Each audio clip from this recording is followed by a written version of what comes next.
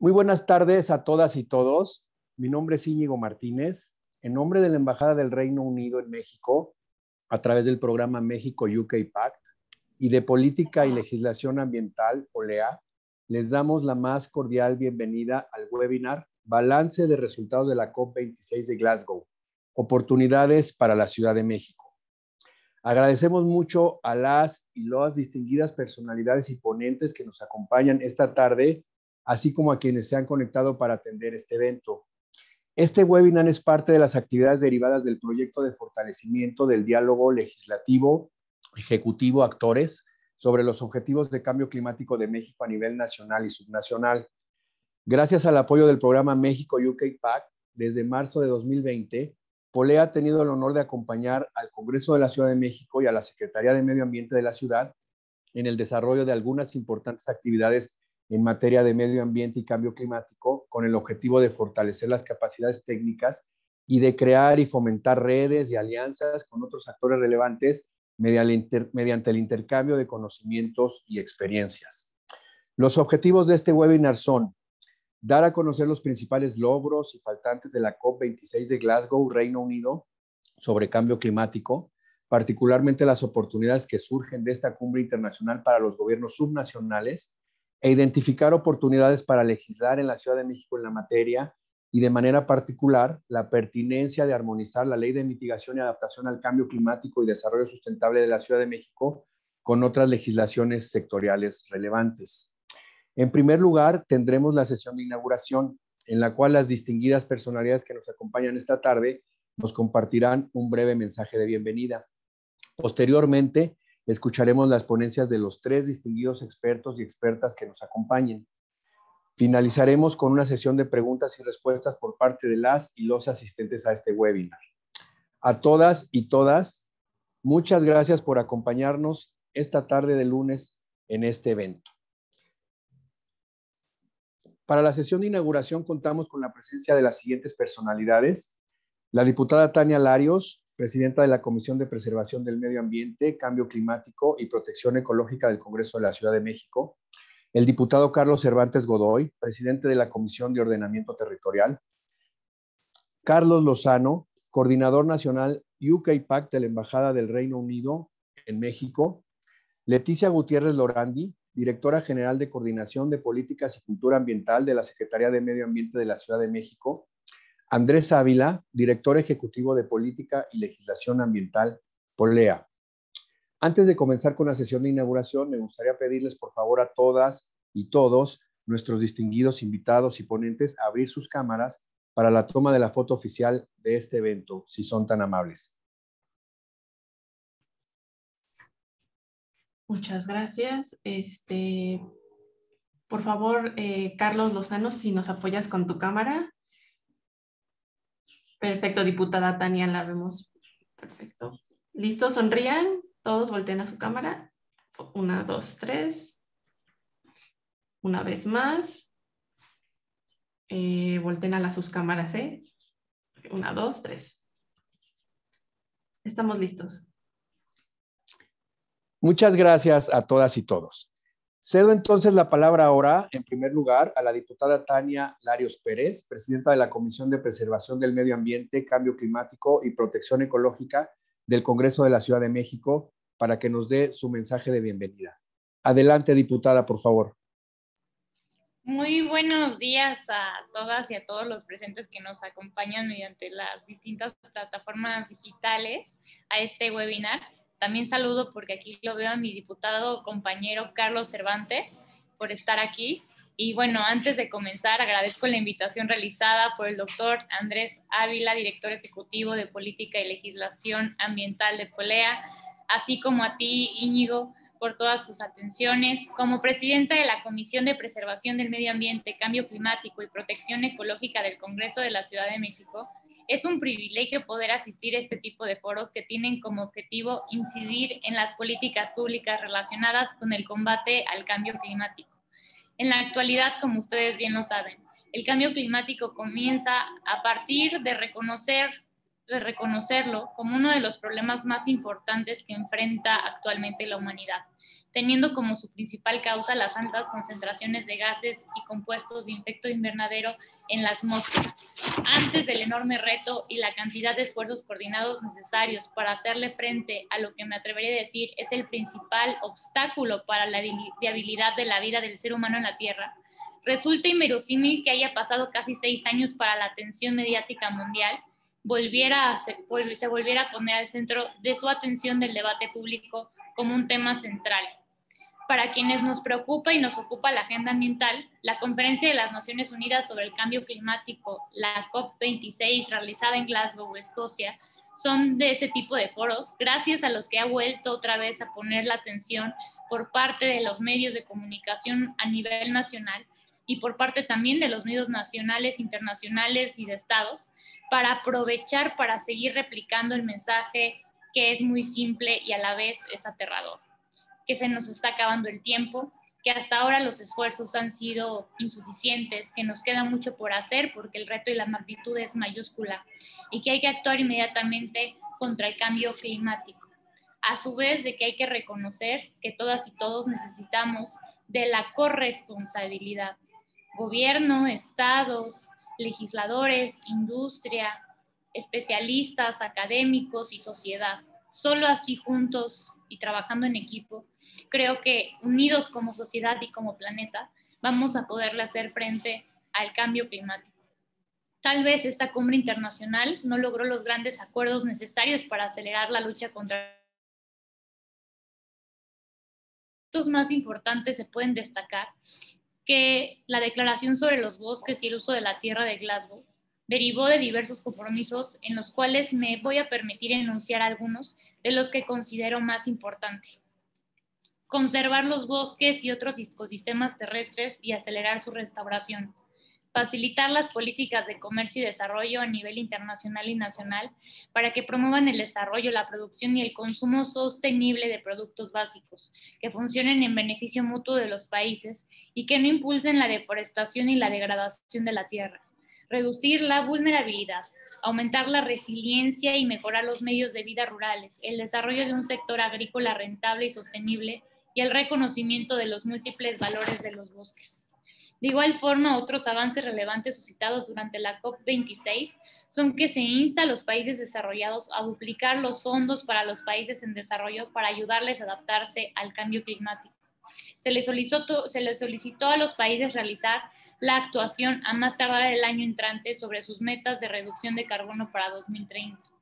Se hizo un llamado para reducir gradualmente el uso del carbón como fuente de energía y los subsidios a los combustibles fósiles ineficientes. Si bien el Pacto de Glasgow fue firmado por los casi 200 países que asistieron, asistieron y no es legalmente vinculante, se espera que se establezca una agenda global necesaria y vital contra el cambio climático para la próxima década. Ahora bien, partiendo de que ya existen nuevos compromisos para reducir los gases de efecto invernadero que sobrecalientan el planeta, es fundamental que este asunto de importancia mundial sea un tema que se encuentre siempre presente en la agenda y en el debate público de todas las personas y de todos los países, ya que únicamente mediante el escrutinio público y la exigencia de la ciudadanía se podrá mantener vigente y darle un seguimiento puntual a las acciones y compromisos de los estados. En este sentido, la acción global frente al cambio climático es ineludible e impostergable. Es necesario que todos los países reduzcan de manera conjunta y decidida las emisiones de gases y compuestos de efecto invernadero en la atmósfera para evitar que estos efectos se agraven.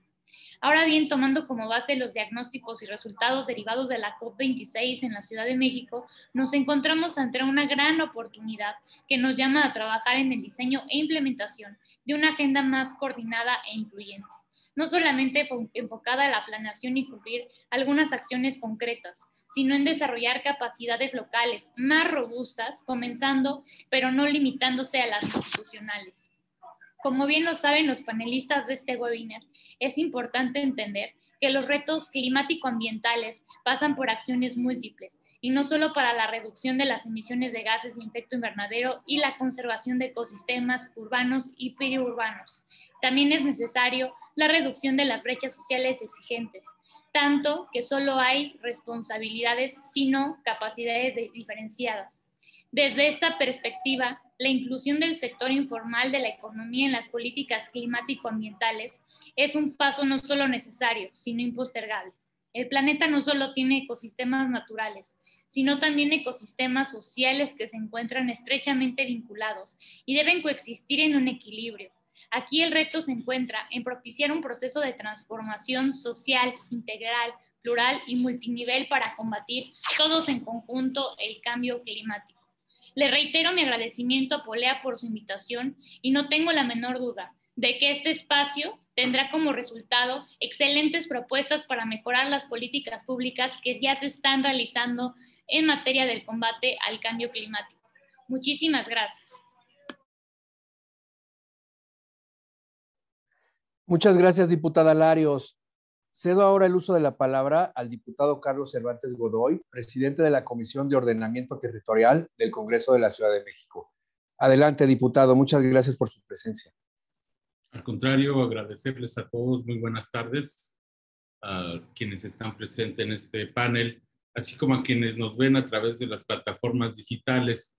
Me parece que hoy en día hablar del tema del cambio climático, el tema ambiental, es sumamente importante y más para una ciudad como la nuestra, donde estamos ante un gran reto. Hace algunos años eh, nos llamaba mucho la atención y con mucha preocupación veíamos venir el, pues, grandes crisis por el tema del agua, por el tema de la vivienda y pues ya esa, ese futuro desastroso o con grandes problemas que teníamos en mente ya hace casi una década, pues ya nos alcanzó, ya estamos frente a una crisis en la cual tenemos que hacer un nuevo diseño de la ocupación del territorio eh, y la forma en que estamos dotando de servicios a una población tan grande como es la que ocupa la, la Ciudad de México. Hay que agregarle a todo esto que esta ciudad cada vez nos reclama mayores servicios, ¿no? El tema del agua es sumamente importante. Tenemos una ciudad donde prácticamente la zona oriente de la capital está teniendo estragos ya para que le llegue el vital líquido. Hemos visto cómo incluso hay disputas muy fuertes por el, por el, por el agua en el oriente de la ciudad y cada vez eh, los lugares de donde se trae el agua empiezan a escasear. Entonces a mí me parece poner sobre la mesa el debate de qué ciudad queremos, hacia dónde vamos es algo muy importante.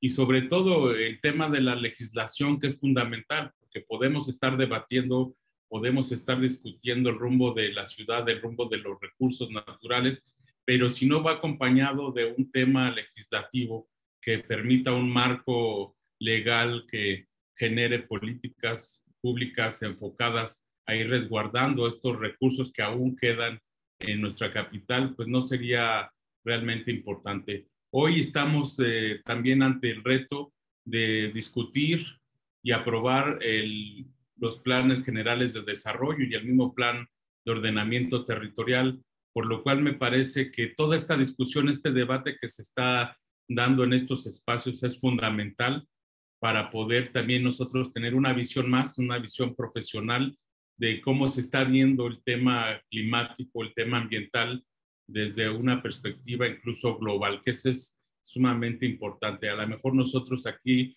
como Ciudad de México podemos ver eh, los pequeños problemas que, que, tenemos o grandes problemas o grandes crisis que, que se ciernen sobre la capital con el tema de la vivienda, el tema del agua, el tema de los recursos ambientales, pero a nivel mundial pues también hay toda una problemática que ya se está discutiendo y que se están planteando eh, ya propuestas muy concretas para irla resolviendo.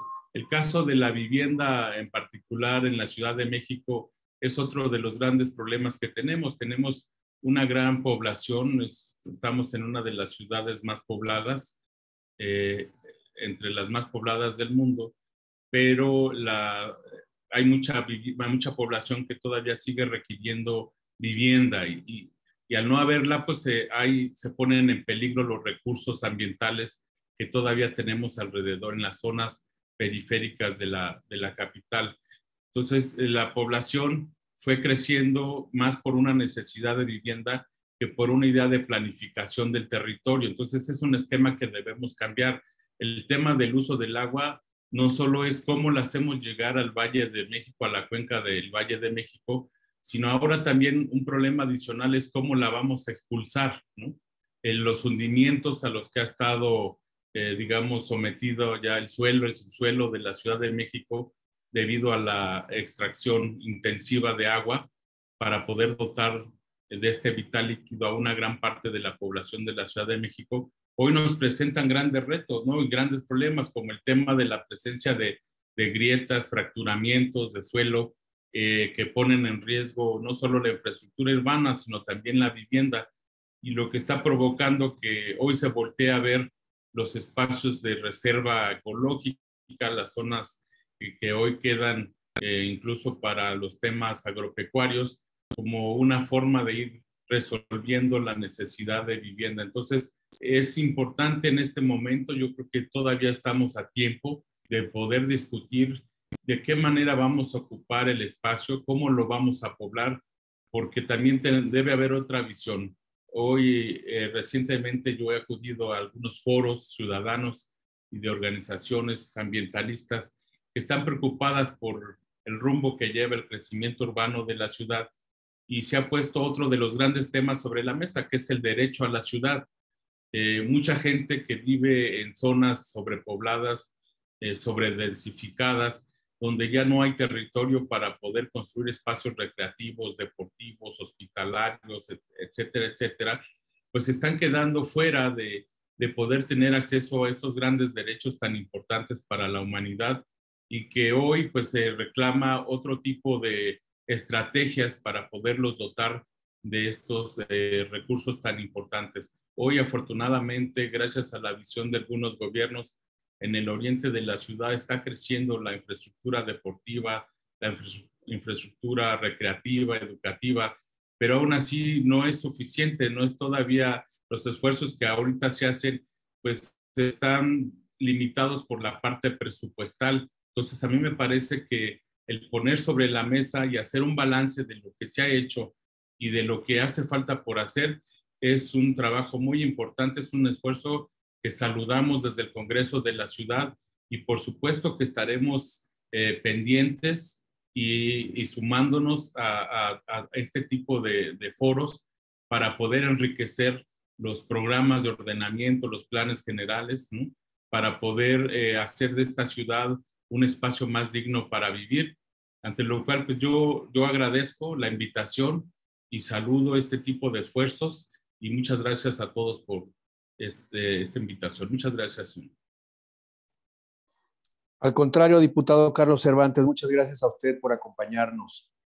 Corresponde ahora el turno a Carlos Lozano Martínez, coordinador nacional UK Pact de la Embajada del Reino Unido en México. Adelante, Carlos, por favor.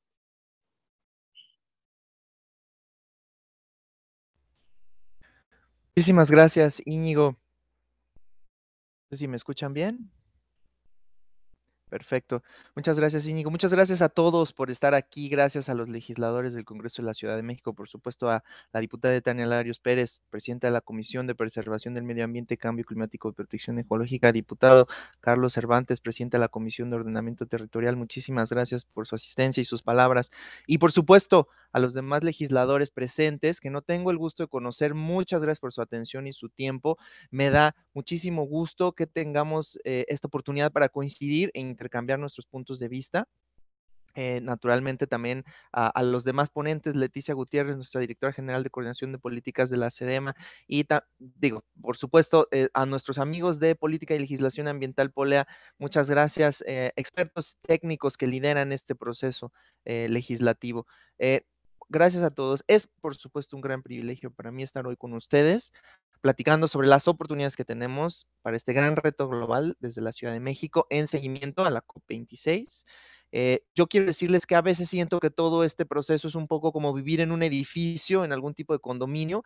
Yo nací y crecí en la Ciudad de México, así que sé bastante sobre todos esos procesos vecinales. Eh, digo, todos sabemos, ¿no? Cuando se quiere hacer alguna mejora o tenemos un gran problema común, la seguridad, el agua, el estacionamiento, se hacen todo tipo de asambleas, siempre está el que no está de acuerdo, el que no entiende, el que mejor no se presenta. Eh, qué difícil, ¿no? Qué difícil organizarnos, coordinarnos, pero también tenemos siempre a aquellos que son los que llaman a las reuniones, los que estudian el tema, quienes están al pie del cañón, tocando puertas, convenciendo a sus amigos y vecinos para la acción. Esas personas, esos líderes que son los referentes en nuestras comunidades y sociedades, esos, señoras y señores, esos son ustedes. Y por eso, a nombre de la Embajada Británica en México, es un gran privilegio poder hablar hoy con los líderes que empujan esta transición climática en México, quienes están imaginando y diseñando el futuro de esta ciudad y de este país. Y también quiero que sepan y dejarles en claro que ustedes no están solos. La cooperación, en este caso internacional, nos ayuda a resolver juntos todos estos retos globales, crecer juntos, resolver estas problemáticas que difícilmente podemos coordinar de manera independiente, como no se pueden coordinar luego entre vecinos, ¿no? Compartimos todos el mismo planeta. Y aunque tenemos foros como la Convención Marco de Naciones Unidas de Cambio Climático con su eh, conferencia anual, ¿no? La COP, la Conferencia de las Partes, ahora es momento de hacer lo propio. Y en este caso es la misma Ciudad de México eh, los diputados presentes que como líderes han levantado la mano para hacer realidad estas transformaciones y en estas el programa UK Pact, el programa de alianzas para acelerar las transiciones climáticas, orgullosamente eh, los está apoyando. Eh, y como en un edificio, en una comunidad de vecinos, ya se tomó el acuerdo en Glasgow. Ahora nos toca a todos seguir eh, este, participando, seguir también facilitando todas estas obras y como en todo trabajo hay que pagar nuestras cuotas. Pero tranquilos, esas las va a pagar UK Pact, eso no les toca a ustedes. Entonces pensemos un momento en este acuerdo. Entonces, a raíz de la COP26, como les decía que se celebró en el Reino Unido, se alcanzaron varios acuerdos que establecen importantes pasos a seguir en el sentido correcto para mitigar y adaptarnos a estos efectos del cambio climático, que ya el diputado Carlos Cervantes Mitocayo pues ya explicó mucho más detalle. Eh, uno de estos son el Pacto Climático de Glasgow, eh, se reconoce muy claramente la acción colaborativa multinivel que tiene que, que tiene que llevarse a cabo para que aumentemos la ambición de las contribuciones nacionalmente determinadas, las famosas NDCs por sus siglas en inglés. Y en estas contribuciones que cada país determina, hay una gran oportunidad para los gobiernos subnacionales y particularmente a las ciudades en el diseño y la implementación de las políticas climáticas para que así podamos incrementar el potencial de las mismas. Todos aquí sabemos que las ciudades concentran el importante porcentaje de la población y de las actividades a nivel mundial, eso no se los tengo que repetir. En consecuencia, son quienes más favorecen este, pues la, realización de este, de este fenómeno, ¿no? De que ocurra el cambio climático. Y a su vez también son quienes son más vulnerables. Ya, ya, lo, ya comentamos varios ejemplos, ¿no? Los, los eventos extremos, también las inundaciones, ondas de calor, sequías, ¿no? Todo esto que afecta a su población. Y lo que no decimos tanto es que también son las ciudades las que tienen mayor posibilidad de actuar en los aspectos que mitigan y adaptan al cambio climático. Por eso es que la cuestión urbana se ha fijado ya como una prioridad para la acción y el financiamiento climático y también se ha puesto sobre la mesa la necesidad de vincularla con otros desafíos clave como son la vivienda, la pobreza energética, la movilidad, la economía este, circular, digo solo por mencionar algunos. Por eso es que la acción colectiva de las ciudades de todo el mundo tiene efectivamente un gran potencial para impulsar esta transición climática que sea efectiva y justa para todos. Entonces, queremos visibilizar y alentar estas soluciones que cada una de las ciudades desarrolla a su nivel local y que de esta manera contribuyan al cumplimiento de estas metas desde las áreas de competencia. Entonces, en este sentido, consideramos que la armonización de la nueva legislación de cambio climático de la Ciudad de México con otras leyes sectoriales, además de darle este sustento jurídico y fortalecer eh, la importante labor que desde hace ya varios años la ciudad hace en la materia, quiero de verdad hacer énfasis en que la Ciudad de México es pionera y ejemplo para los demás estados del país y estamos invitando a que haya una acción climática desde niveles subnacionales que respondan con una visión transversal a esta crisis climática, emergencia a la que ya nos estamos enfrentando. La Ciudad de México y sus líderes, quienes están ahora en las pantallas de todos ustedes, aquí al lado en nuestros cuadritos alrededor mío, como la diputada Tania Larios, el diputado Carlos, nuestros expertos de Polea, vamos todos juntos a continuar transformando la ciudad para que combatamos el cambio climático y estemos preparados para lo que viene. Muchísimas gracias a todos por su atención. Al contrario, muchas gracias a ti, Carlos, por acompañarnos. A continuación escucharemos el mensaje de Leticia Gutiérrez Lorandí. Leticia es directora general de Coordinación de Políticas y Cultura Ambiental de la Secretaría del Medio Ambiente de la Ciudad de México. Adelante, Leticia, muchas gracias por estar aquí. Muchísimas gracias, Íñigo. Muy buenos días a todas y todos. Eh, es para mí un honor poder participar en este espacio. Reciban eh, todas y todos un saludo muy afectuoso de la doctora Marina Robles, secretaria del Medio Ambiente de la Ciudad de México. Eh, celebro muchísimo que, continuemos con estos espacios para tener esta discusión deliberada sobre la acción climática en la Ciudad de México, vinculada a todos estos procesos internacionales que se están dando y se seguirán dando en el, en el espacio eh, internacional. Saludo con muchísimo gusto a la diputada Larios, al diputado Cervantes y a todos los demás compañeros legisladores que nos que nos acompañan en este espacio. Y, saludo también con muchísimo gusto a, mis colegas y amigos de Polea, Andrés Íñigo y a todo el equipo, que eh, no dejaré de repetir que en verdad trabajamos siempre eh, de la mano en una alianza muy productiva y virtuosa para avanzar procesos estratégicos desde este y otros espacios. Y agradezco a la Embajada de Reino Unido porque gracias al generoso apoyo de ustedes eh, hemos podido, Carlos, tener un acompañamiento profesional con Polea para poder avanzar eh, de mano también del Congreso la legislación climática que requiere la ciudad con el nivel de ambición que se requiere no solo para la ciudad, sino para nuestro planeta. Eh, eh, ya más adelante, eh, Jorge Villarreal, quien nos acompaña aquí, quien es experto de muchísimos años en las negociaciones, nos va a platicar de, los resultados de Glasgow y seguramente resaltará dos puntos que además recientemente en, en otro espacio lo escuché a él reiterar y quisiera enfocarme en esos dos puntos. si bien se discutieron muchísimas cosas en Glasgow, me parece que para relevancia de nuestra ciudad hay dos puntos importantes eh, que no hay que quitar el dedo del renglón. Uno es la, el énfasis que se hizo en la necesidad de acelerar la implementación en, Glasgow y segundo, el papel, el papel, de los gobiernos subnacionales. Eh, esos dos puntos son relevantísimos para la Ciudad de México, porque por un lado, en cuanto a nuestro carácter ya de gobierno subnacional, porque somos una ciudad, pero a la vez un Estado, una entidad federativa, eh, y como bien ya se ha mencionado aquí, todos sabemos, el, por un lado, el impacto que tiene la ciudad en términos ambientales, pero también por otro lado, la, la oportunidad de soluciones innovadoras y de muchísimo potencial de impactar en millones de personas eh, como una gran urbe y, y, recurrentemente sale este dato ¿no? en foros internacionales de que al 2050 el 80% de la población vivirá en centros urbanos, pues bueno, es el caso de la Ciudad de México. Cada vez la Ciudad de México con su área metropolitana, porque además la acción climática no, no debe de reconocer fronteras.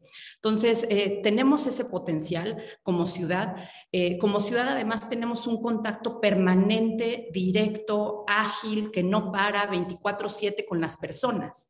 Las personas que vivimos y transitamos esta ciudad, las personas que eh, sufrimos los impactos del clima, muchas de ellas por ciertas condiciones de vulnerabilidad lo sufren mucho más aún. No es lo mismo eh, eh, el impacto que pueda tener algún peligro climático en una mujer que viaja dos horas desde Milpalta para trabajar en la Gustavo Amadero o una niña pequeña que vive en una zona rural de la Ciudad de México, que el impacto que pueda tener quizás en algún industrial o emprendedor que vive en la Miguel Hidalgo. Sin embargo, ese contacto permanente que tenemos como ciudad, como gobierno, con las personas, con nuestros ciudadanos que viven en la ciudad, tiene un potencial enorme para que creemos una ciudadanía climática, como le llamamos desde la, Secretaría del Medio Ambiente, que lo que busca es revolucionar las conciencias de quienes vivimos y transitamos la ciudad para eh, hacer frente de manera contundente y y colectiva, por supuesto con responsabilidades diferenciadas y entendemos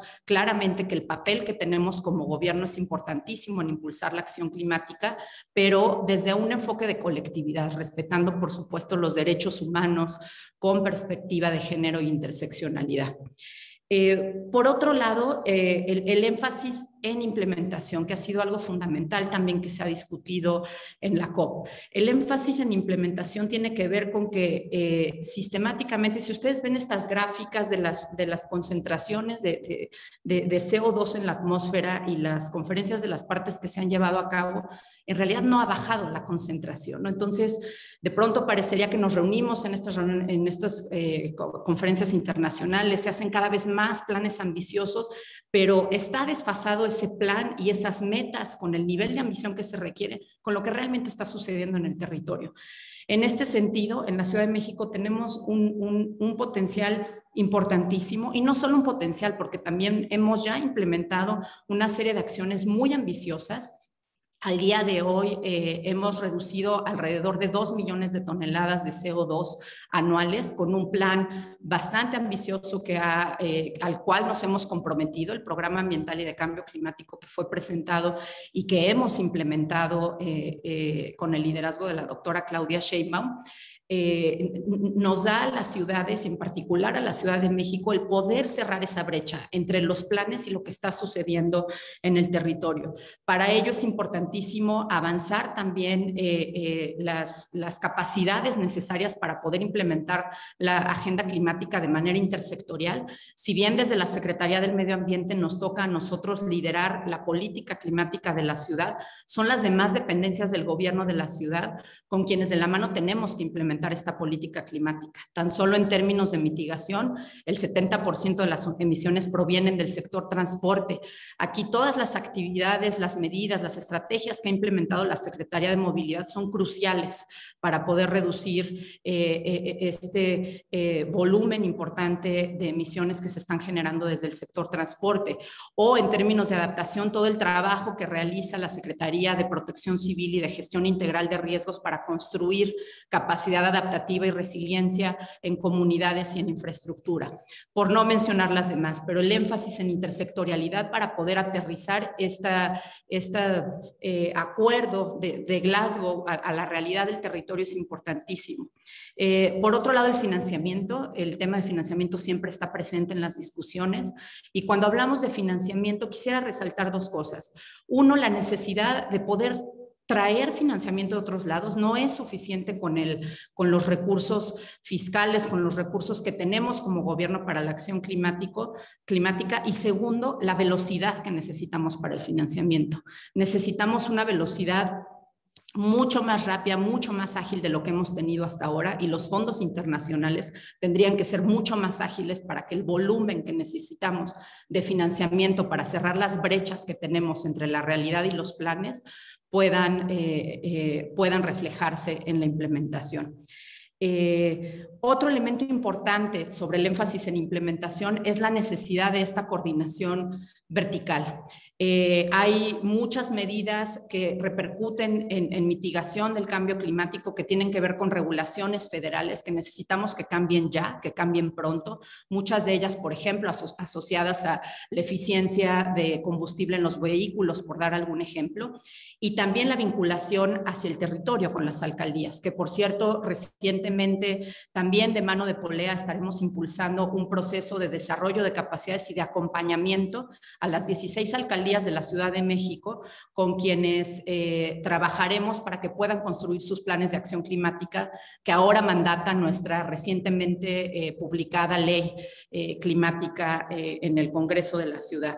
Es siempre un reto poder comunicar, comunicar a nivel de calle, a nivel de, las personas que, vivimos todos los días esta ciudad, qué implican estas negociaciones climáticas, qué implican estos acuerdos internacionales. Es un reto importantísimo porque poder traducir esa acción climática local a la vida diaria de las personas no necesariamente es fácil.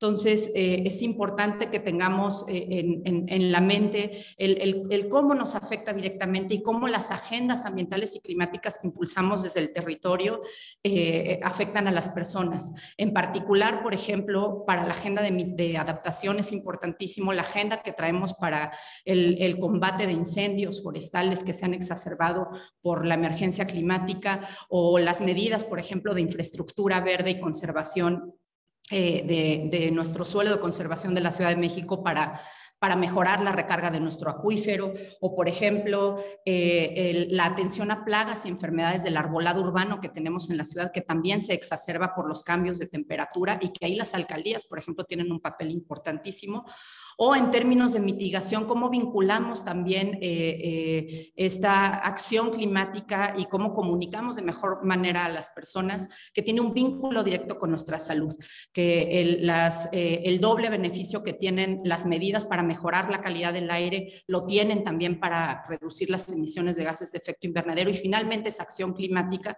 que beneficia a nuestra ciudad porque vamos a respirar un aire más limpio. Por no meternos en más ejemplos, me parece que el, papel de ustedes también como legisladores, por supuesto legislar, ¿no? Y, cuenten eh, del, trabajo coordinado desde la Secretaría del Medio Ambiente, eh, que por cierto, eh, un, esfuerzo estratégico que puede vincular el, avance en todo lo que se hizo con, con la legislación climática es la iniciativa de economía circular que están discutiendo ustedes actualmente.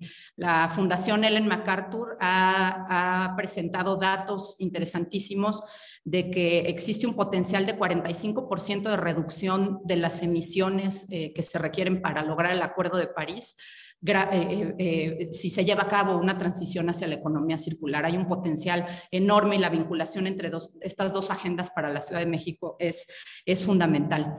Entonces, quisiera terminar haciendo uh, un llamado y agradeciendo porque me parece que hemos arrancado con el pie derecho con esta legislatura, haciendo un llamado a diputadas, diputados, que sigamos trabajando de la mano, por supuesto, en el trabajo que es de ustedes de legislar, pero sobre todo en, en un trabajo trabajo de replicación, de divulgación, que nos ayuden ustedes a ser amplificadores de este mensaje, tanto de lo que hemos logrado ya como parte de la agenda ambiental para aterrizar esta acción climática, pero también como lo que hace falta, ¿no? Para lo que hace falta.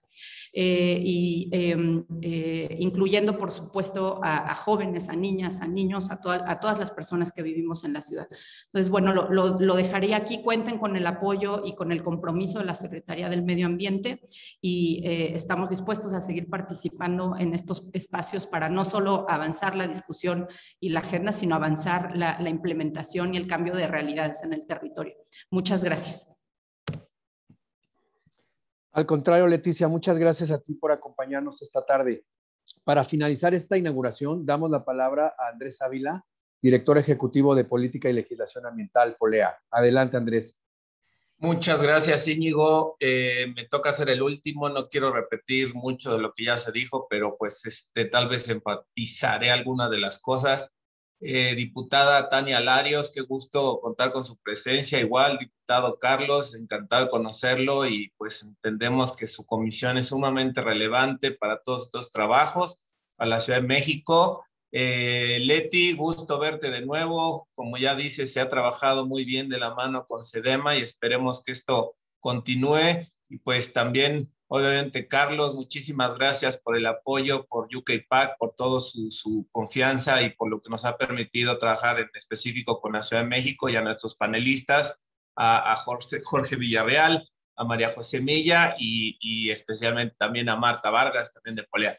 Bueno, pues el, el, el tema de hoy, la Ciudad de México, Glasgow, ¿no? Siempre vale la pena resaltar que el problema está aquí, creo que fue mucho de los discursos que escuchamos en esa COP, algunos muy emotivos, principalmente las pequeñas islas, pero estos, estos datos que parece como que muy lejanos o que siempre estamos pensando que no, no, no están tan a la vuelta de la esquina, pero, pero que son un hecho, ¿no? El hecho de que las décadas, las últimas cuatro han sido las más calientes desde que tiene este, medición y que es un hecho que esto ha sido causado por la actividad humana, porque aunque ustedes no lo crean, todavía quienes no este, coinciden que este es un fenómeno que es eh, generado por nosotros como especie, eh, ya, ya según las últimas informaciones del IPCC, del último informe, el sexto, ya existe un aumento de 1.2 grados centígrados. Y esto pues ya nos ha tenido las consecuencias que trae el cambio climático, como más sequías, más tormentas, más fenómenos hidrometeorológicos, de los cuales, como ya se mencionó, la Ciudad de México no está ausente, ¿no? De sufrirlas. Eh, otro punto bien interesante, y creo que, bueno, pues aquí están, como ya decía Carlos, actores este, que son importantes en cuanto a su remediación, es la urgencia. Se hablaba en algún momento que las emisiones cero netas tenían que llegar al 2100, o sea, suceder en el 2100. Pues resulta que si estamos al 2100 ya va a ser muy tarde, que necesitamos que estas sucedan en el 2050 para siquiera tener la posibilidad de alcanzar este objetivo de no rebasar los 1.5 grados centígrados, como establece el Acuerdo de París, que se ratificó también en Glasgow, en Glasgow, perdón. Y esto responde a que si, si no lo hiciéramos, si nos vamos con esta ruta de descarbonización al 2100, la temperatura va a aumentar 2.7 grados centígrados. Ese es el, umbral al que estamos apuntando con las actuales eh, circunstancias, a pesar de toda la gran, eh, digamos, voluntad y compromisos y decisiones que se tomaron en Glasgow, tampoco será suficiente. Este 2.7 se convierte en 2.4. Si reduce considerablemente la temperatura o la, o la este, trayectoria hacia el futuro, pero no es suficiente. Y también se señala, como les decía, siempre es, creo vale la pena resaltarlo, que, que las consecuencias del cambio climático, las consecuencias del aumento de la temperatura ya están sucediendo. Este mismo informe del IPCC indica que entre el 20 y 40% de la población de este planeta ya está sufriendo las consecuencias de un calentamiento de 1.5 grados centígrados, por lo menos en una temporada al año.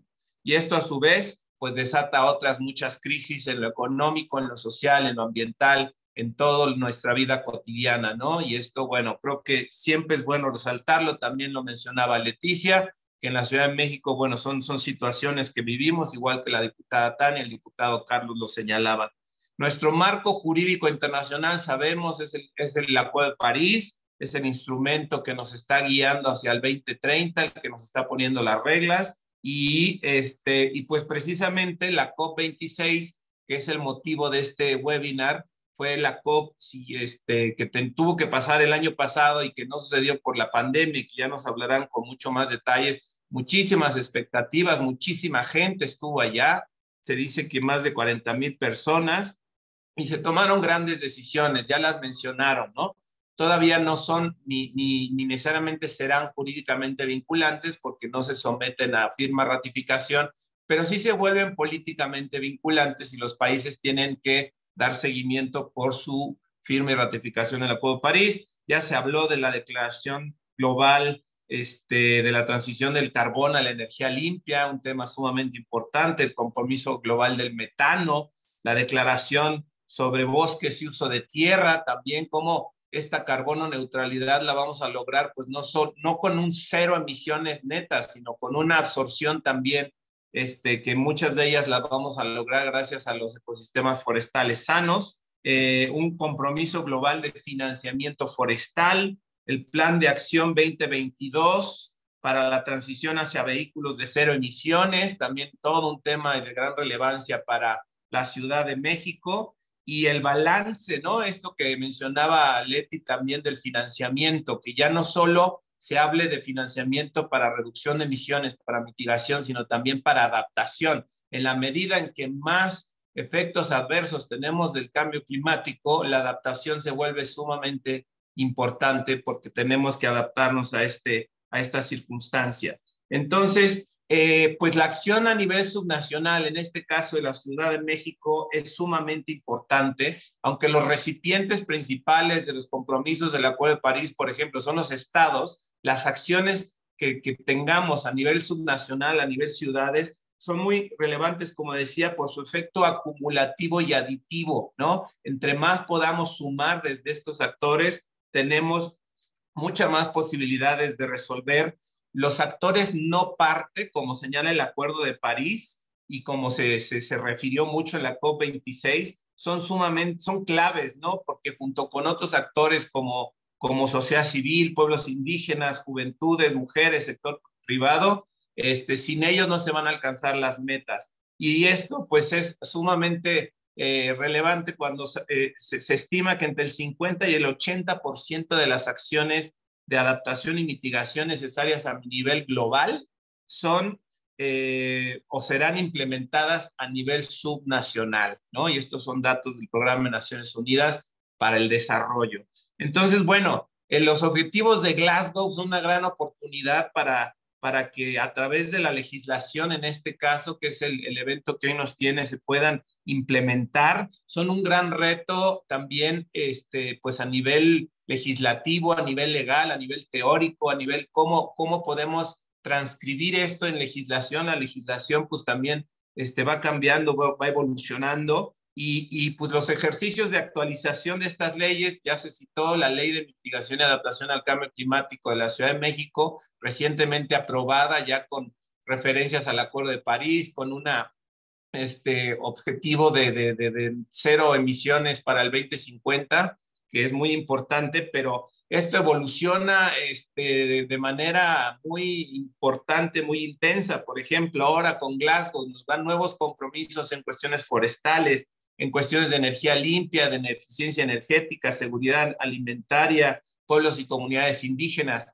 Eso es lo interesante, ¿no? Cómo, cómo la legislación y sus instrumentos, también la propia política pueden adaptarse a algo que avanza tan rápido, ¿no? En cuanto al ámbito internacional eh, y también pues la importancia de la legislación en cuanto a la certeza jurídica que nos pueden dar.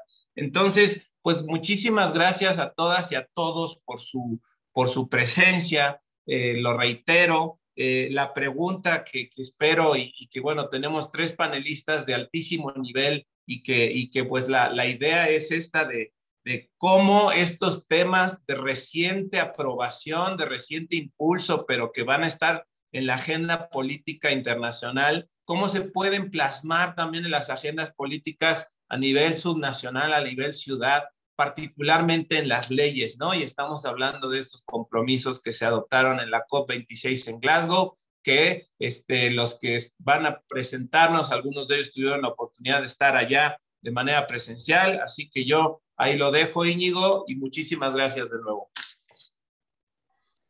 Gracias, Andrés, y muchas gracias a todas y todos por sus palabras.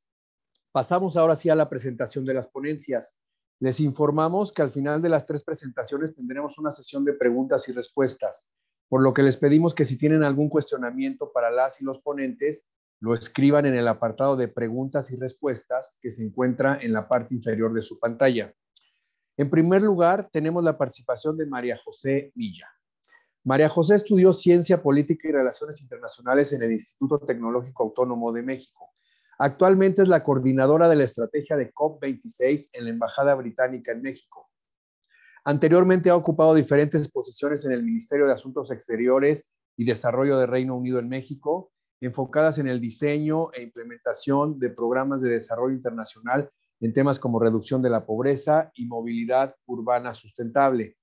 El tema de su ponencia es principales logros y faltantes de la COP26 de Glasgow, Reino Unido, oportunidades para los gobiernos subnacionales.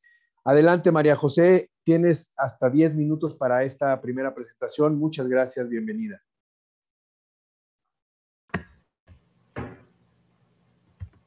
Buenas tardes a todos todos. Una disculpa, por favor díganme si me escuchan bien porque mi conexión ha estado fallando bastante hoy. Um, pero sí te pues, escuchas. Buenas tardes a todos. Muchísimas, muchísimas Gracias por, por la invitación. Es, es un gusto estar con ustedes el día de hoy.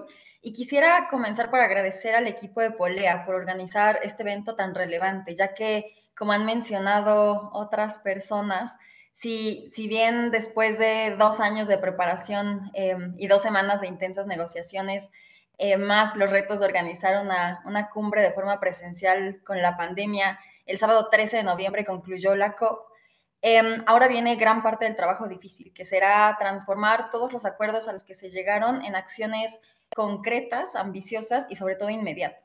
En este sentido, quisiera mencionar algunos de los resultados y logros de esta COP, pero también señalar algunos de los puntos que quedaron pendientes y en los cuales debemos trabajar ahora.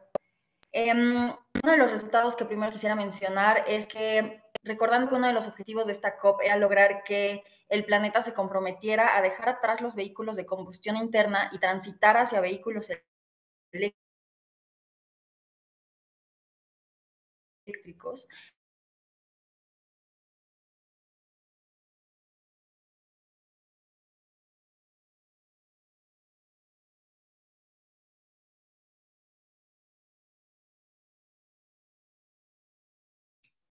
Creo que la perdimos, Íñigo.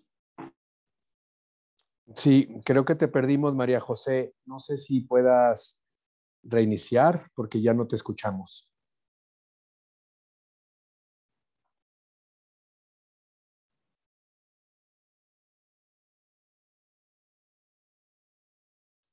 No, no está con nosotros. Eh, No. ¿Estás por ahí, María José? No, no está con nosotros. Quisiera proponerle, si estás de acuerdo, Jorge, si tú pudieras eh, eh, ahora eh, hacer tu presentación y tal vez en un, en un ratito que, que, María José pueda resolver su, su problema de conexión, pasar con ella. Entonces, si están de acuerdo, voy a dar ahora a ceder la palabra a Jorge Villarreal, quien es politólogo por la Universidad Autónoma Metropolitana y especialista en política y gestión energética y medio ambiente por la Facultad de Ciencias, por la Facultad Latinoamericana de Ciencias Sociales, sede México. Jorge es miembro fundador de la Iniciativa Climática de México, donde actualmente es director de política climática como responsable de la Agenda de Política Climática de ICM. Ha participado en el diseño y promoción de instrumentos legales claves para la transición climática en México, entre los que destaca la Ley de Transición Energética, la Ley de Asentamientos Humanos, Ordenamiento Territorial y Desarrollo Urbano y las reformas a la Ley General de Cambio Climático del 2018. Desde 2017, Jorge es integrante del Consejo Directivo de la Iniciativa de Transparencia Climática, un consorcio global de think tanks que buscan estimular la acción climática en las economías del G20 e incentivar inversiones bajas en carbono en el marco de la transparencia climática. El tema de su ponencia es la COP26 de Glasgow, principales resultados para México. Adelante, Jorge, eh, por favor, eh, si nos haces favor de eh, presentar. Con muchísimo gusto, estimado Íñigo, y, y, primero quisiera agradecer, por supuesto, esta muy gentil invitación de ustedes, nuestros amigos y aliados en Polea, y por supuesto eh, de la Embajada del Reino Unido en México, quien a través de su programa UK Pact apoyan este ejercicio, no, bueno, no solamente a ustedes, sino a muchas y muchos de nosotros quienes buscamos una implementación efectiva para hacer frente de la acción climática, para poder hacer frente a esta crisis que vivimos como humanidad. Por supuesto, saludo eh, de manera muy atenta a la diputada Tania Larios y, por supuesto al diputado Carlos Cervantes. Qué gusto saludarles. Eh, es, es, de verdad un privilegio poder compartir estos foros con ustedes, a, nuestra muy estimada eh, eh, amiga y, y, muy respetada maestra Leticia Gutiérrez. Eh, de verdad eh, que hace rato en su participación yo casi puedo suscribir completamente su intervención y con el crédito respectivo poderla yo replicar en otro foro así tal cual. Y por supuesto, muchísimas eh, saludos a, a, todo el equipo de Polea y a mi querido amigo Andrés Ávila. ¿Cuál es desde la perspectiva de la sociedad civil algunos de los retos y de los logros importantes en la agenda de la COP26. Ya eh, es difícil no repetir las diversas intervenciones eh, muy puntuales, muy claras, muy eh, precisas de las oportunidades y los retos. destaco, por supuesto, la importancia en el énfasis de la implementación. Recordar que desde el Acuerdo de París en el 2015, la COP26 era muy, muy, muy importante porque marcaba el hito del arranque del Acuerdo de París. Eh, y esto es eh, muy relevante para la línea de tiempo de la política climática global. Es decir, se aprobó en el 2015 y en el 2020 era cuando entraba en vigor, pero pues evidentemente por la pandemia se pospuso un año la COP eh, y se llevó a cabo hasta el 2021 pero hubo cinco años de preparación para el Acuerdo de París y a partir de esos cinco años entraba en vigor eh, no solamente el acuerdo, sino también las eh, contribuciones nacionalmente determinadas que son uno de los instrumentos para poder cumplir con los objetivos de largo plazo del Acuerdo de París. Eh, particularmente son tres el primero de ellos es cómo eh, evitar o, cómo reducir las emisiones de gases de efecto invernadero para poder evitar un aumento de la temperatura más allá de 2 grados o por debajo de los 2 grados, muy por debajo, perdón, de los 2 grados centígrados y por debajo del 1.5, eh, el incrementar la resiliencia en nuestras regiones y por supuesto incrementar el financiamiento climático. Entonces se crean estos instrumentos y en ese marco pues la implementación cobra en la COP26 un lugar central. Ahora, implementación eh, se dice, es una palabra que se dice de manera corta y sencilla, pero en realidad implica un trabajo y unas complejidades enormes y ya hace rato las intervenciones pasadas, particularmente la de la maestra Leti Gutiérrez, pues ya de manera muy particular enfocaban algunos de los retos. El segundo elemento que destaco de las oportunidades en la COP26 es el componente subnacional, en donde de verdad los estados y las ciudades jugaron un papel predominante. ¿Por qué razón? Porque nos decía muy bien hace unos momentos eh, Andrés Ávila que la brecha de, bueno, que estamos en una trayectoria de emisiones eh, eh, antes de la COP de 2.7 grados centígrados, después de los acuerdos de la COP estamos en 2.4, nos decía muy bien él, pero eh, tenemos todavía una brecha de emisiones de cerca de 23 gigatoneladas de CO2 equivalente. ¿Qué quiere decir esto? Pues quiere decir que son Adicional a todos los compromisos, después de la COP todavía tenemos que reducir más o menos tres veces las emisiones totales de Estados Unidos si queremos estar en esta trayectoria de, eh, eh, del 1.5, lo que es un reto gigantesco. Entonces, para esa trayectoria y esa brecha, queda claro que los esfuerzos nacionales son eh, evidentemente limitados. Y lo digo en el sentido positivo de la palabra, o en el sentido constructivo de, la, de, de, de, de, esta intención, de decir, pues claro, o sea, son limitados, pero pues se requiere en ese sentido un acuerdo y un trabajo coordinado, multinivel, que nos recordaba muy bien hace rato Carlos. Eh, se necesita este trabajo coordinado, multinivel, en, en donde los estados y las ciudades juegan un papel predominante, particularmente en la reducción de emisiones en el sector transporte y en el sector de edificación, en el de desechos, este, por su, y, también en algunos de los aspectos industriales, además de eh, la reducción y en, el sector em, de bosques y cambio de uso de suelo, más el potencial de captura que tienen las diversas regiones instrumentados a través de las políticas estatales y de las ciudades.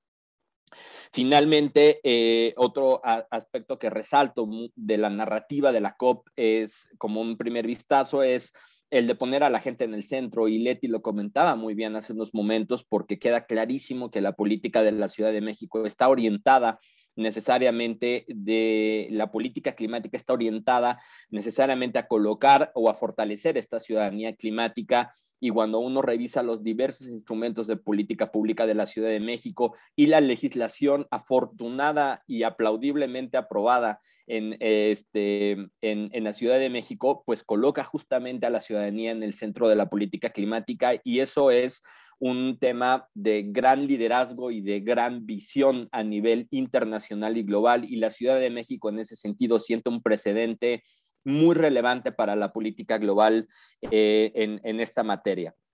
Y después de esta primera visión, y por favor, eh, querido Íñigo, avísame cuando me queden unos tres minutitos, eh, quisiera hacer una muy breve repaso de algunos de los elementos que en unos momentos seguramente María José nos hará de, con mucho mayor profundidad, pero algunas oportunidades muy interesantes que surgieron en la, en la COP26. La primera de ellas es en materia de mitigación. En materia de mitigación, nosotros escuchamos a lo largo de las dos semanas de negociaciones una serie de declaraciones políticas de muy alto nivel y además en el paquete de Glasgow, perdón, en el, en el pacto de Glasgow, eh, ya por primera vez se señala el tema energético en el centro de las discusiones. La primera vez que en una eh, negociación internacional se coloca un tema sectorial. Eh, no se había colocado de esta forma y eso es un hito muy relevante para la negociación climática porque lo que se acuerde en el Acuerdo de París, valga la redundancia, pues va a permear en algún momento en las políticas nacionales en la medida en que nos nosotras y nosotros, nuestros países, hemos refrendado, hemos suscrito y, refrendado el, el, acuerdo y ha sido ratificado además por el Senado de la República. En ese sentido, la reducción de emisiones en materia de energía, pues está en el centro de las discusiones. Hay oportunidades muy interesantes en ese sentido para una mayor penetración de energías eh, eh, renovables, pero también de reducción de emisiones en el sector transporte. Y desde eso se generaron una serie de distintos anuncios en donde cada vez se encamina más las economías globales, eh, la economía global y las economías emergentes, las economías desarrolladas y, muchos diversos actores, incluyendo los corporativos, a poder ir limitando la, eh, la combustión en eh, los motores en materia de transporte. No solamente en la Ciudad de México representa una importante fuente de emisiones, sino también en el país y a nivel global. En el país es la primera fuente de emisiones también. Entonces, reducir eh, la penetración de automotores eh, de combustión interna es una de las primeras tareas que se tiene y ahí los estados y las ciudades juegan un papel predominante. Otro elemento que me parece muy importante en materia de mitigación es que el programa de trabajo para el aumento de la mitigación aprobado en el Acuerdo de París orilla a los países a poder comunicar nuevamente sus contribuciones nacionalmente determinadas a más tardar el siguiente año para el nuevo ciclo. Y en ese sentido, México como país tiene una oportunidad muy importante. Lo mencionó el presidente Andrés Manuel López Obrador hace unas semanas eh, o meses ya, perdón, eh, cuando eh, tuvo la visita oficial del embajador, del enviado especial de Cambio Climático de Estados Unidos, eh, John Kerry, eh, que tiene además rango de secretario de Estado.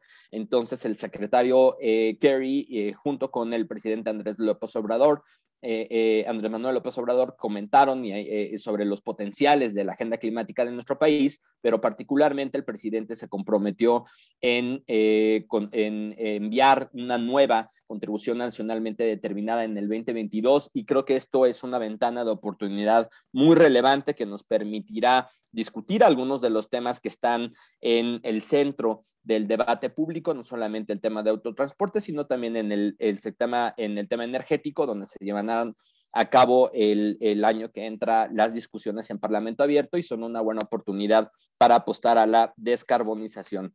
Finalmente, en materia. Te quedan tres minutos justo. Está bien, adelante.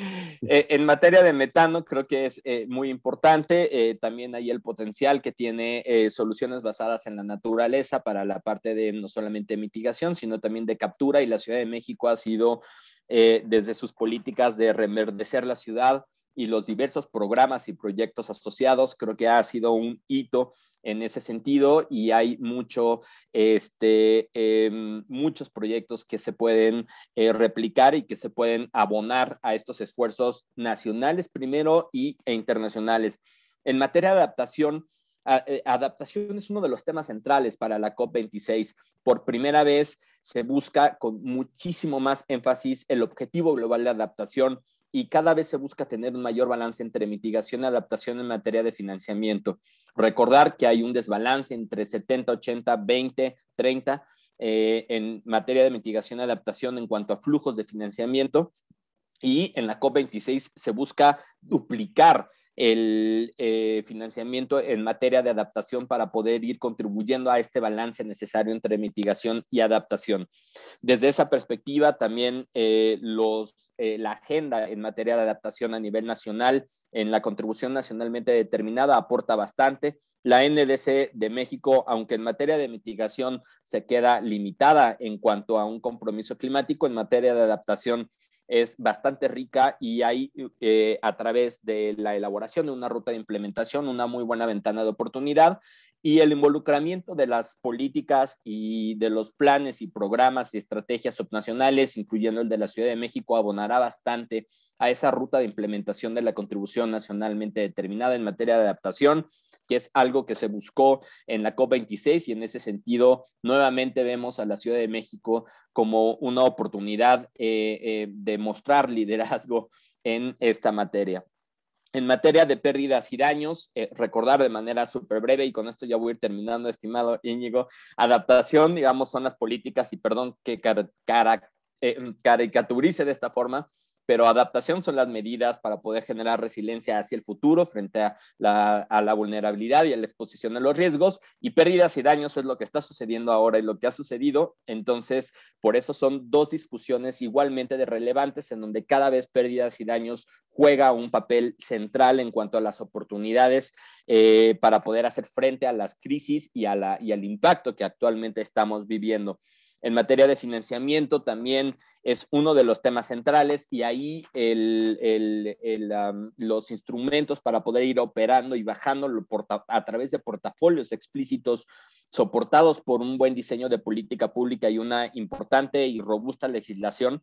Esos son los elementos centrales para poder identificar los mecanismos y los instrumentos para bajar el financiamiento climático y que esta famosa meta de los 100 billones de dólares que no se alcanzó, pero que se busca alcanzar, tenga además un canal de poder ser implementada, porque no basta con tener movilización de recursos o tener mucho dinero. Es súper importante que ese dinero sea implementado de forma adecuada. Y los estados y las ciudades son un canal natural de implementación y el portafolio diseñado de mitigación y adaptación en la Ciudad de México y en otras ciudades con una, insisto, eh, instrumentos de política pública muy robustos y legislación eh, climática muy robusta, pues son el, eh, el, conjunto perfecto de elementos para poder ir aterrizando ese financiamiento que no está obviamente ajeno a una serie muy compleja de distintos retos financieros, fiscales, etcétera,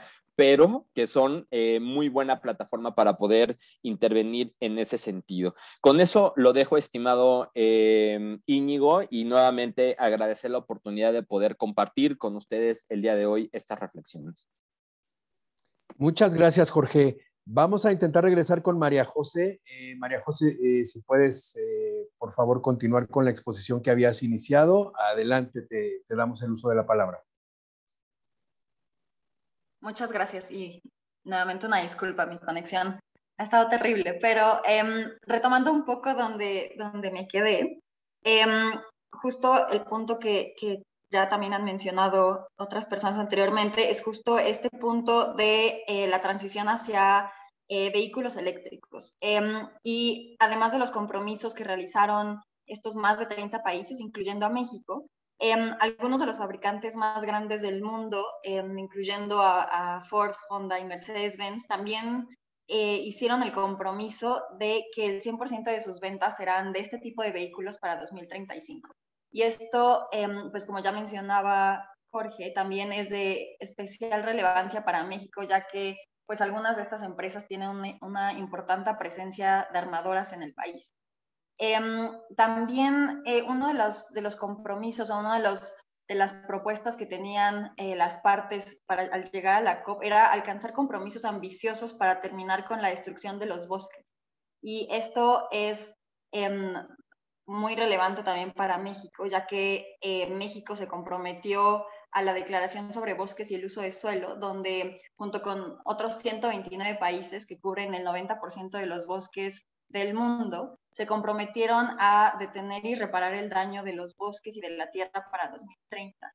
Em, otro punto que también quisiera mencionar es que si bien no fue posible lograr un compromiso consensuado por eliminar el uso del carbón antes del, del 2040, Em, sí es de reconocerse que por primera vez en la historia de la COP, en Glasgow se acordó una postura global para la reducción gradual. Em, y es por eso que es tan importante que 165 países ya se hayan sumado a la alianza para eliminar el uso del carbón y también que México es parte de esta alianza. Em, en temas de financiamiento, justo también como mencionaba Jorge, eh, pues esta fue una, de las prioridades principales para llegar a esta COP. Y en este sentido, el Reino Unido hizo un llamado urgente para que los países más ricos, quienes históricamente han producido más emisiones, se recomprometieran a movilizar el financiamiento necesario para apoyar al resto del mundo con esta transición. Em, y en este punto vimos acciones ambiciosas de parte del sector privado, el cual comprometió 130 billones de dólares para objetivos de emisiones netas cero. También 40 em, países, incluyendo a México, apoyaron la creación de la Junta Internacional para Estándares de Sustentabilidad, la cual buscará elaborar estándares globales para reportar cómo y dónde el sector financiero está poniendo el dinero. Em, recordando también que uno de los enfoques de la COP era impulsar la reducción de emisiones a corto plazo para mantener vivo el objetivo de los 1.5 grados. Em, cuando el Reino Unido asumió la organización de la COP hace casi ya dos años, solo el 30% del mundo tenía objetivos de emisiones netas cero. Ahora em, es muy positivo que esta cifra está cerca del 90% y que durante el mismo periodo 154 países em, ya hayan presentado nuevos objetivos nacionales, los cuales representan el 80% de las emisiones mundiales. Em, otro resultado que quisiera, que quisiera resaltar es que después de seis años de discusiones, eh, finalmente durante la COP26 se completó el Reglamento de París, el cual em, será un mecanismo para incrementar la, la transparencia y hará que los países rindan cuentas al cumplir con sus compromisos.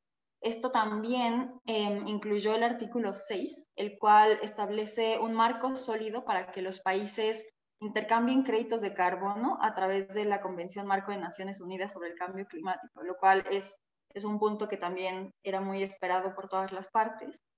Em, por último, en tema de los resultados, me gustaría em, mencionar que, es, que se debe reconocer el dinamismo de los actores no estatales.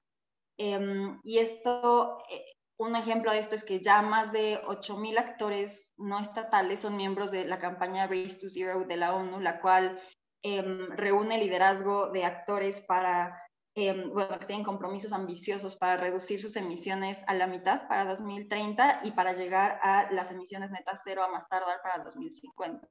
Y pues dentro de esta cifra se encuentran más de mil ciudades, eh, más de 5.000 empresas, 450 instituciones financieras, más de mil instituciones educativas y más de 14 mil hospitales. Em, y todos estos actores juntos representan el 25% de las emisiones globales de CO2 y más del 50% del PIB. Em, y aquí quisiera resaltar que justo ya hay más de 11 municipios de México que están dentro de Race to Zero y dos, eh, y dos estados que también se han, se han unido. Em, y pues en este sentido es como mencionaron, ya todos estos acuerdos son muy positivos, pero em, pues para poder alcanzar nuestros objetivos se tienen que transformar en acciones. Em, y eh, ligado a esto, pues quisiera mencionar las áreas en las que todavía debemos trabajar. Em, y sin lugar a dudas, uno de los resultados más importantes de la cumbre fue mantener con vida el Acuerdo de París, es decir, mantener vigente la meta global de evitar un aumento en la temperatura global por encima de los 1.5 grados centígrados. Sin embargo, esta meta está en riesgo a menos que las naciones tomen acciones urgentes y más ambiciosas que nunca para reducir sus emisiones. Em, y esto porque, como han mencionado, las proyecciones de la ciencia actualmente predicen que nos acercamos peligrosamente a un mundo con temperaturas de hasta casi 3 grados centígrados más altas, lo cual pues representaría una sentencia de muerte para el mundo que, que tenemos eh, y al que conocemos. Em, y algo muy importante es que justo en Glasgow se logró reconocer que los planes actuales no son suficientes para la supervivencia de esta meta y que por eso em, se acordó que en vez de esperar para el 2025 para incrementar los compromisos de cada país y reducir sus emisiones hacia el 2030, como originalmente em, lo establecía el Acuerdo de París, Em, los países incrementarán sus metas en los próximos 12 meses con el objetivo de mejorar sus compromisos antes del 2030. Y pues definitivamente realizar un ejercicio de esta magnitud en tan solo un año o menos es, es muy desafiante, pero pues no tenemos alternativa. Y em, los gobiernos de todos los países deberán buscar en todos los rincones de sus economías em, las oportunidades más ambiciosas para reducir las emisiones cuanto antes y transitar hacia modelos de bajo carbono de manera justa pero acelerada. Em, y para ello, como han mencionado, será esencial involucrar a todos los niveles de gobierno y a todos los sectores de la sociedad. Em, y pues en este sentido, el, trabajo bilateral México-Reino Unido, em, Glasgow definitivamente marca el inicio de un nuevo capítulo de cooperación climática entre ambos países. Eh, y ya hemos tenido importantes éxitos de colaboración conjunta en esta agenda durante la década pasada. Y Glasgow representa la puerta a nuevas alianzas con el gobierno británico y el gobierno mexicano, pero también con los gobiernos subnacionales, el sector privado y la sociedad civil. Y como mencionaba Carlos Lozano, em, del lado de la embajada nos encantaría seguir explorando oportunidades de colaboración con todos estos actores para seguir avanzando esta agenda. Em, y pues sí, quedamos, quedamos a su disposición para seguir trabajando eh, en estos puntos. Y hasta aquí lo dejo. Muchas gracias. Al contrario, María José, muchas gracias a ti por tu participación. Continuamos eh, rápidamente con nuestra tercera presentación del día de hoy. Es la presentación a cargo de Marta Vargas. Marta es abogada, diplomada en sustentabilidad, con 20 años trabajando en proyectos ambientales, particularmente legislación y política pública. Marta ha trabajado en gobiernos estatales y municipales desarrollando proyectos ambientales sobre estrategias de uso y conservación de la biodiversidad, ordenamientos ecológicos locales, manejo de áreas naturales protegidas, desarrollo forestal, manejo de residuos, cambio climático, manejo de vegetación urbana y planeación de espacios urbanos. Fue abogada general de la Universidad del Medio Ambiente, UMA, y posteriormente directora de la Asociación Civil Educación Ambiental. Ha colaborado en la misma universidad como asesora en proyectos de titulación y como docente en el Diplomado de Economía Circular. Actualmente Marta es asesora legal de Polea, el tema de su ponencia es oportunidades para armonizar la ley de mitigación y adaptación al cambio climático y desarrollo sustentable de la Ciudad de México con otras legislaciones sectoriales relevantes. Adelante, Marta, tienes hasta 10 minutos para realizar tu presentación. Muchas gracias. Muchísimas gracias, Íñigo. ¿Qué tal? Buenas tardes. Eh, mi nombre es Marta Vargas y como ya lo, lo platicó Íñigo, tenemos eh, un, rato ya, y lo comentó Leti también, eh, colaborando con el gobierno de la Ciudad de México en la, armonización de algunas leyes sectoriales. Eh, voy a compartir mi pantalla.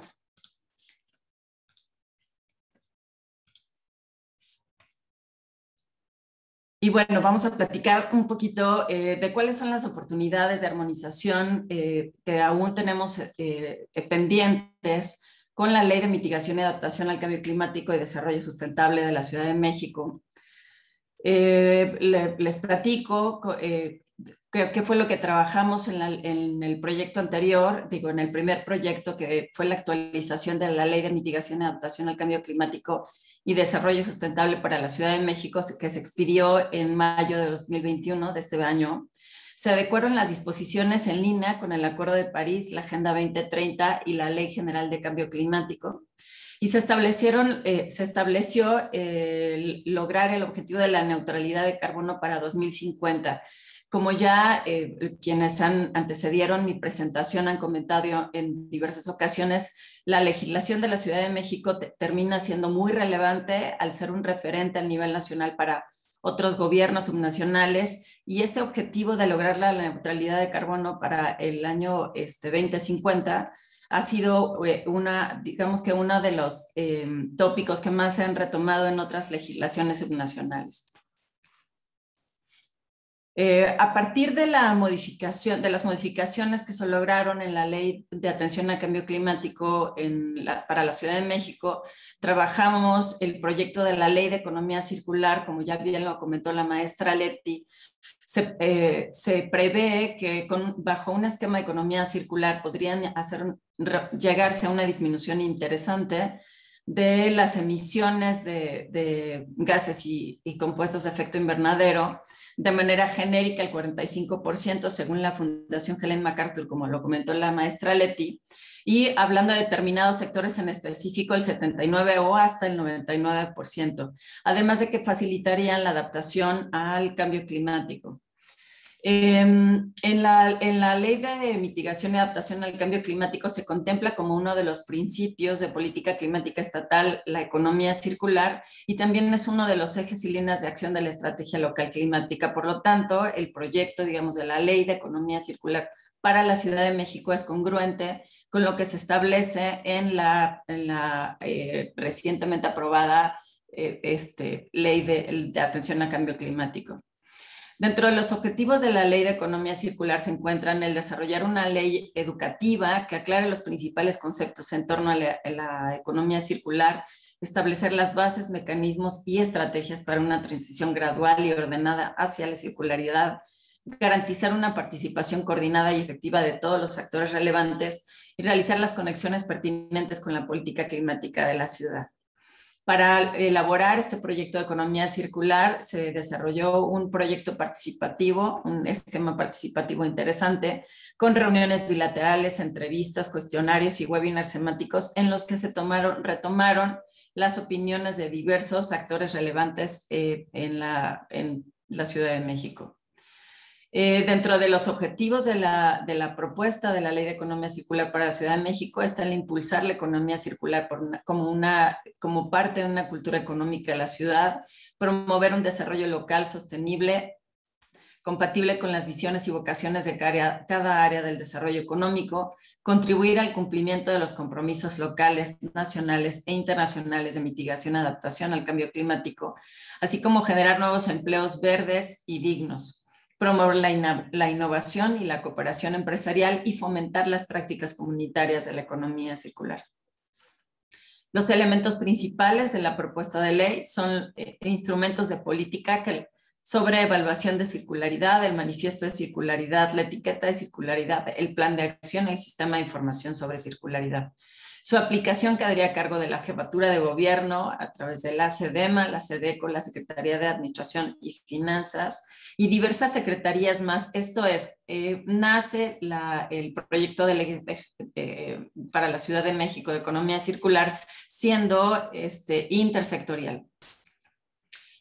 Se trabajó también ya la armonización de la ley de residuos sólidos, donde se incorporan las definiciones de la, de la ley de cambio climático. Se realiza una vinculación entre este entre el sector de residuos y las atribuciones de la SEDEMA, se establece que la formulación del programa de gestión integral de residuos se deben incluir acciones para lograr la reducción de las emisiones de gases de efecto invernadero, así como para adaptarse a los efectos del cambio climático. Y se propone la concurrencia, congruencia y vinculación de los programas de residuos sólidos y los programas de cambio climático.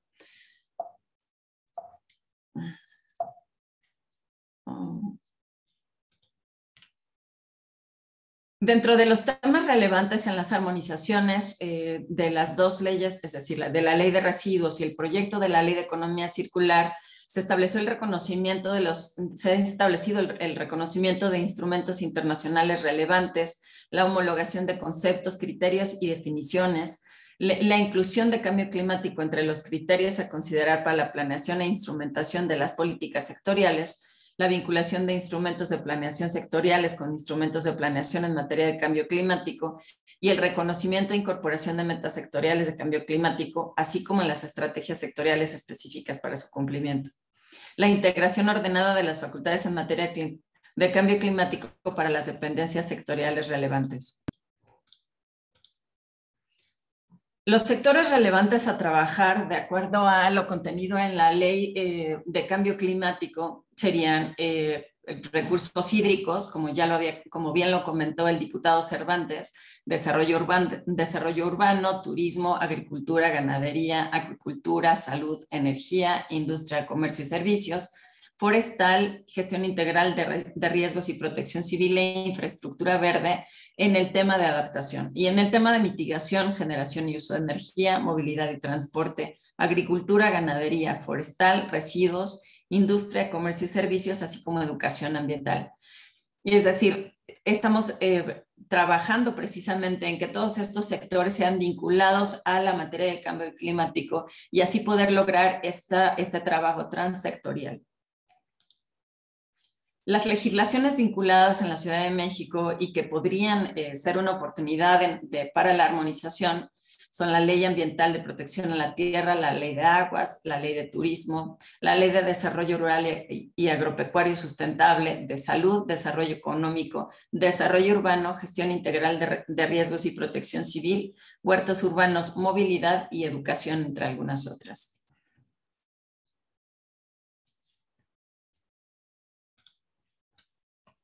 Esto es lo que hasta el momento hemos trabajado eh, desde Polea con el gobierno de la Ciudad de México como las grandes oportunidades en el materia de residuos y de economía circular y lo que pensamos que, puede venir eh, más adelante como grandes oportunidades. hasta aquí solamente. Gracias. Al contrario, Marta, muchas gracias por tu presentación. Agradecemos mucho a las y los tres ponentes sus muy interesantes participaciones. Desafortunadamente el tiempo, como sucede en estos eventos, se nos, se nos ha venido encima y pues eh, ya no vamos a tener oportunidad de, dar el espacio de las preguntas y respuestas. De cualquier manera, los invitamos a que si tienen algún cuestionamiento, alguna pregunta específica, la anoten en, en la parte de preguntas y respuestas en el chat y nosotros de manera personal contestaremos esas, esas inquietudes.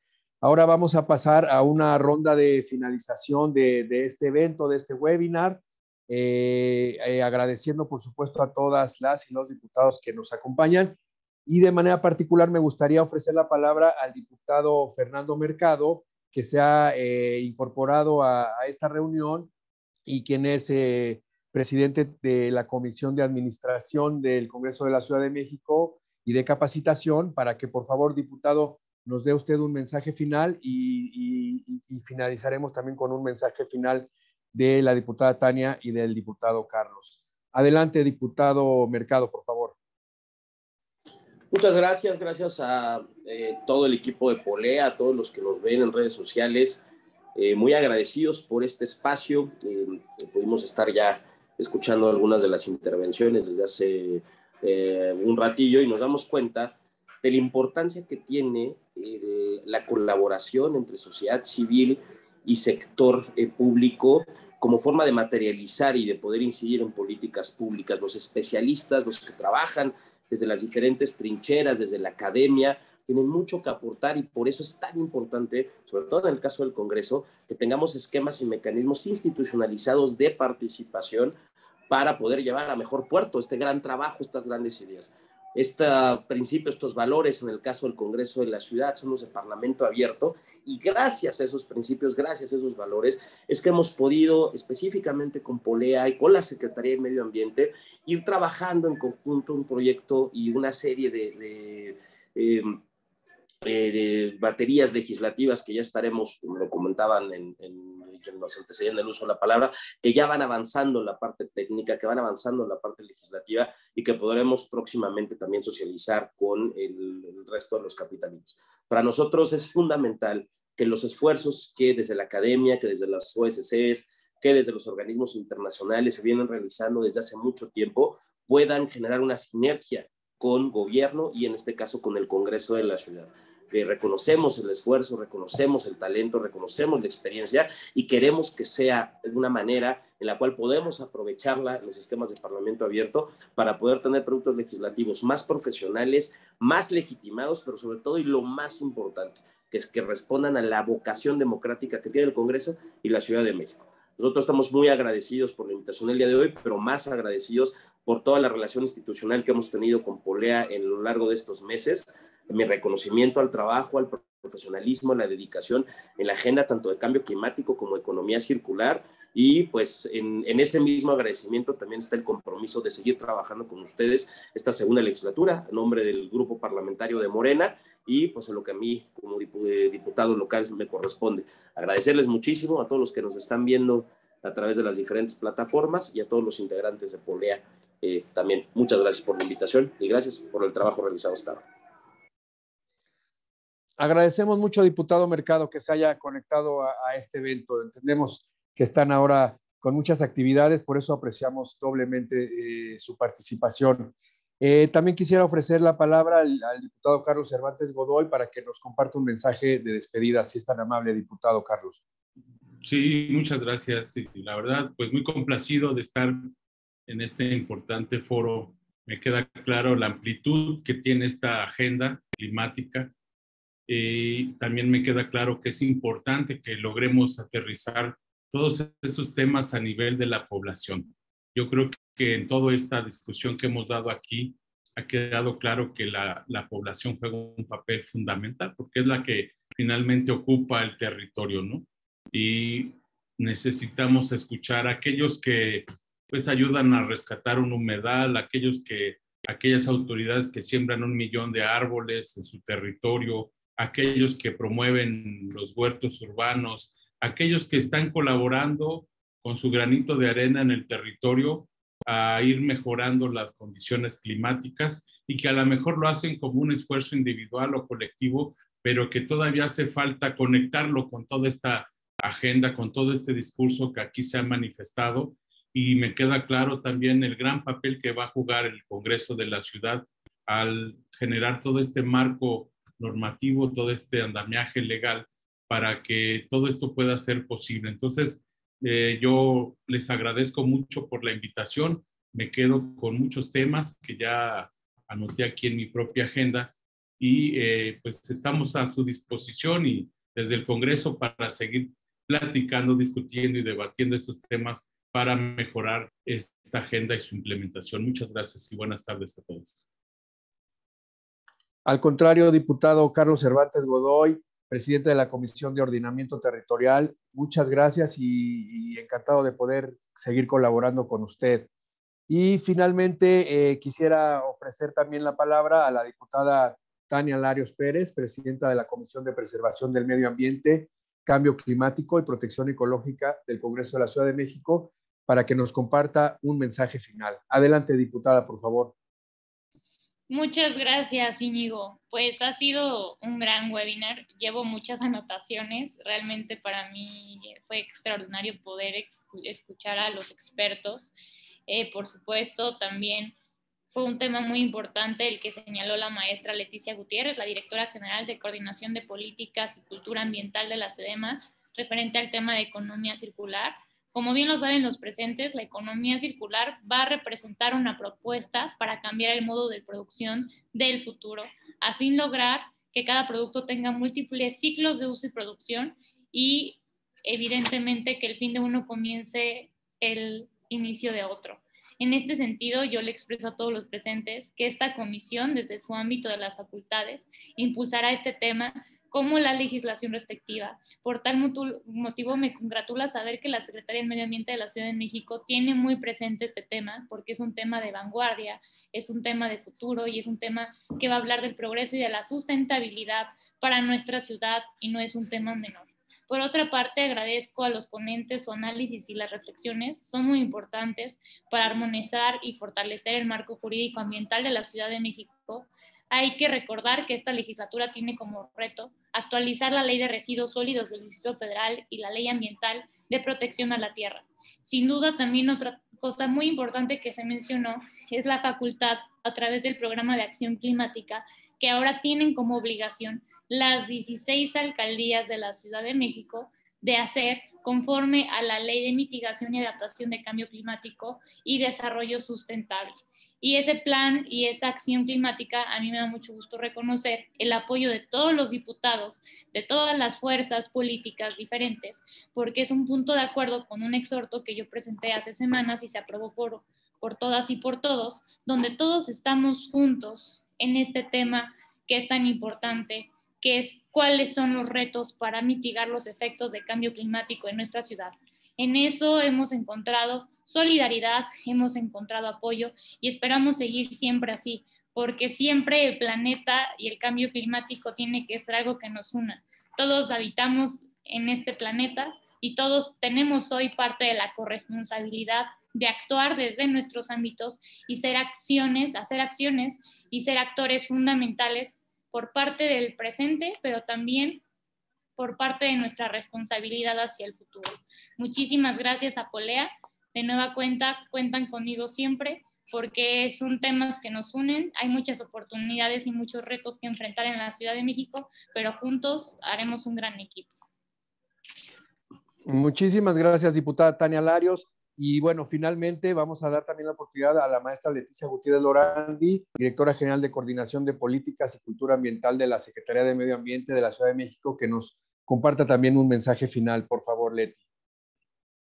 Gracias, Íñigo. Pues no me resta más que reiterar nuestro apoyo desde la SEDEMA en nuestro trabajo permanente eh, con el Congreso. Diputada Tania, eh, tú que presides la comisión, eh, sigamos trabajando de la mano juntas y fortalezcamos esta, esta agenda poniendo ante todo a las personas y a la naturaleza en el centro de, de, la política y de las acciones ambientales y climáticas de la ciudad. Muchísimas gracias, colegas de Polea también. Un abrazo a todos. Pues eh, agradecemos mucho a todas y a todos que nos acompañaron esta tarde. Eh, muy pronto vamos a subir estas presentaciones y el video de este webinar en el sitio de Polea, por lo que les pedimos que estén pendientes de nuestras redes sociales. Nuevamente, muchas gracias a las diputadas, diputados y a todos quienes nos eh, compartieron sus experiencias, sus conocimientos, a nuestras ponentes, a nuestros ponentes. Y pues que tengan muy buena tarde y seguimos en contacto. Muchas gracias. Hasta pronto.